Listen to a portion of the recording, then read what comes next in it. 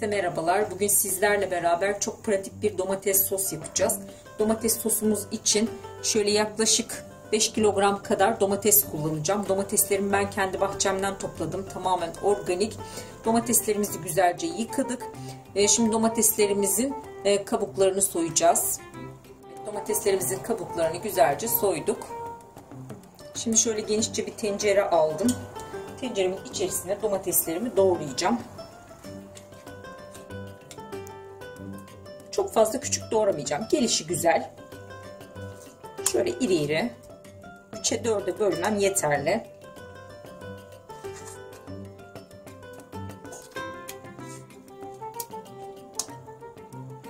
Dediğim gibi çok pratik bir domates sosu oluyor. Bu şekilde biraz büyük büyük doğrayacağım. Daha sonra güzelce piştikten sonra blenderdan geçireceğiz.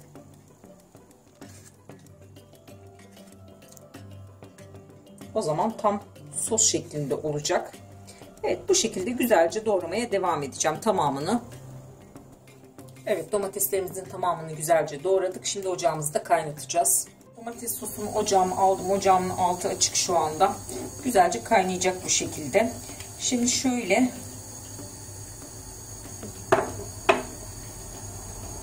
bir, bir buçuk tatlı kaşığı kadar tuz ekleyeceğim. Bir tatlı kaşığı ekledim. Şöyle yarım tatlı kaşığı kadar daha tuz ekliyorum. Ve şöyle hemen bir karıştıracağım. Tuzu bu aşamada ekliyorum ki domatesin güzelce suyunu salsın diye. Ve daha çabuk ölsün domatesler diye. Hemen ocağa koyar koymaz tuzumuzu ekliyoruz. Tamam çok fazla karıştırmayacağım. Bu kadar yeterli. Şimdi tenceremin kapağını kapatacağım. Bu şekilde güzelce domateslerim suyunu salacak. Bir müddet pişecek. Daha sonra biraz sıvı yağ ekleyeceğim.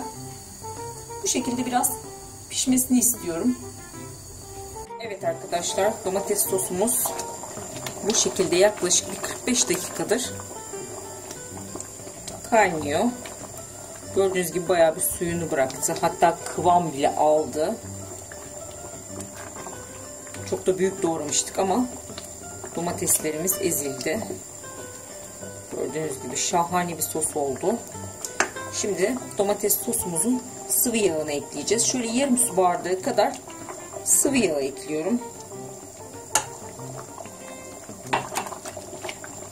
Şöyle bir karıştıracağım. Yağ ekledikten sonra bir 5 dakika kadar daha kaynatacağım. Ee, ve blenderdan geçireceğim artık. Sosum kıvamı aldı.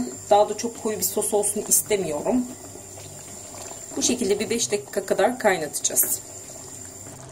Evet domates sosumuz bir 5 dakika kadar daha kaynadı. Şimdi hemen blenderımdan geçireceğim. Ocağımın altı hala açık. Ocağımın altı hala açık şu anda. Bu şekilde güzelce blenderdan geçireceğim. Pürüzsüz bir kıvam olana kadar.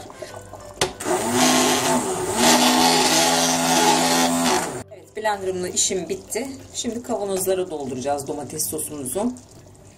Arkadaşlar domates sosumuzun kıvamı bu şekilde. Çok fazla koyu kıvamlı bir sos olsun istemiyorum ben. Eğer daha koyu kıvamlı bir sos istiyorsanız biraz daha kaynatabilirsiniz. Kaynadıkça koyulaşıyor zaten.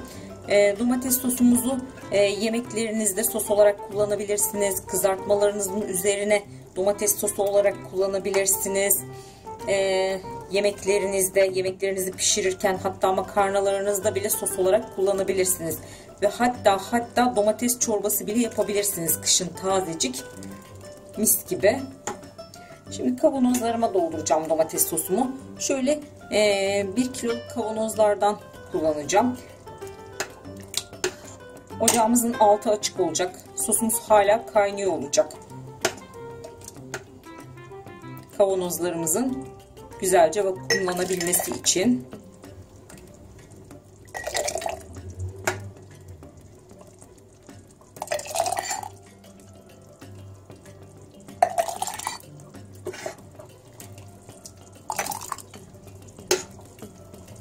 Evet bu şekilde güzelce doldurdum kavanozuma. Şimdi şöyle ağzını bir peçeteyle sileceğim kavanozumun. Evet şöyle ağzını temizliyoruz kenarını kapağını kapatacağımız için temizlememiz gerekiyor. Evet, domates soslarımı güzelce kavanozlarıma doldurdum. ve şöyle ters çevirerek tezgahımın üzerine aldım. Şöyle 2 adet büyük boy, 1 adet küçük boy domates sosum oldu. Domates sosumun altına şöyle e, kalınca bir bez serdim. E, şimdi domates soslarımı güzelce e, saracağım bezime. Tıpkı yoğurt mayalar gibi.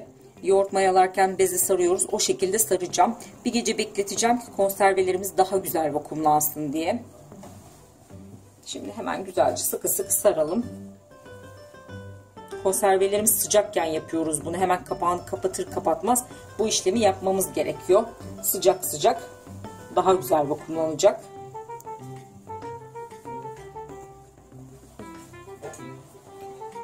Evet bu şekilde şöyle tezgahımın kenarına alacağım ve sabaha kadar bu şekilde kalacak.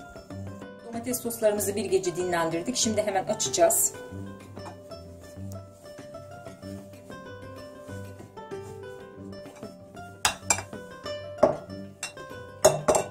Şöyle hemen tezgahıma almak istiyorum. Evet konservelerimiz güzelce soğumuş. Şimdi hemen ters çeviriyorum şöyle ve kapaklarına bakıyorum. E, vakumlanıp vakumlanmadığına. Şimdi şöyle baktığınızda kapağınız dümdüz ise konserveniz vakumlanmış demektir. Dümdüz benim kapaklarım. Bu da aynı öyle. Dümdüz. Bu da o şekilde. Eğer şöyle baktığınızda kapağınız hafif böyle e, şişmiş gibi ise yani hafif böyle burasında bir kabartı varsa e, konserveniz vakumlanmamış demektir. Konserve yaparken mutlaka sıfır kapak kullanmanızı tavsiye ederim. Sıfır kapak kullandığınızda konservenizin vakumlanmama gibi bir riski yok.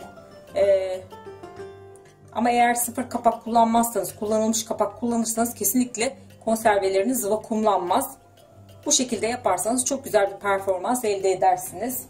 Arkadaşlar videomuzu beğendiyseniz bize destek vermek için lütfen YouTube kanalımıza abone olmayı unutmayın. Tariflerimizi mutlaka deneyin. Deneyen herkese de şimdiden afiyet olsun.